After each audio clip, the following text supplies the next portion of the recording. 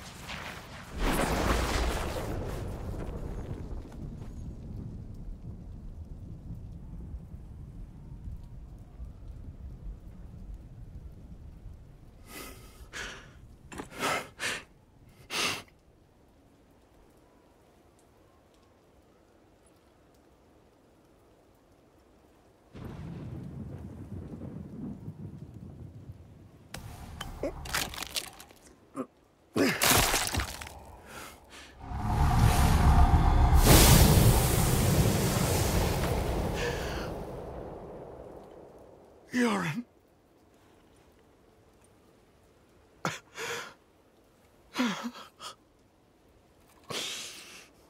I'm sorry, my son.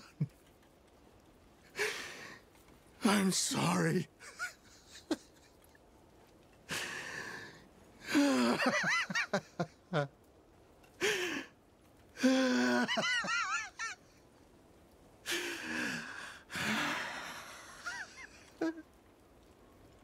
Donan, I. I will leave you in peace.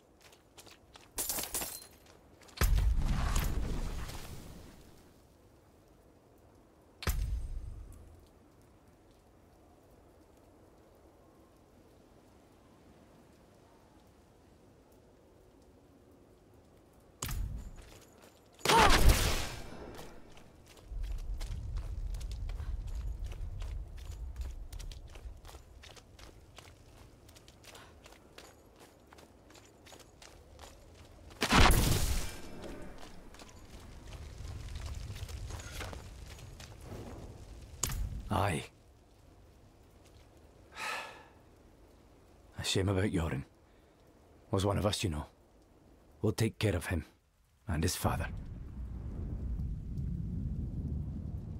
Lilith and Astaroth had made a deal. And we were the ones who would pay the cost. Our presence was no coincidence. Everything happened exactly as Lilith wanted. We just danced to her music. Donan was shattered. His mind on grief, not her. Not answers. No one knew what Lilith was truly after, or exactly what Astaroth had promised her.